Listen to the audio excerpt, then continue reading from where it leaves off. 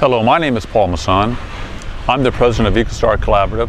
We're the authorized dealer for Kral flow meters in western United States and parts of western Canada. My background is over 37 years in diesel applications both on land and marine.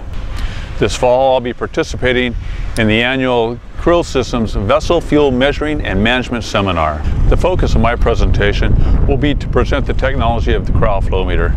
This coupled with the management systems offered by Krill for the data collection, the reporting, and the management decision capabilities offered will lead to a very important discussion for all of our customers. We certainly hope that you'll plan on attending and joining us here in Seattle.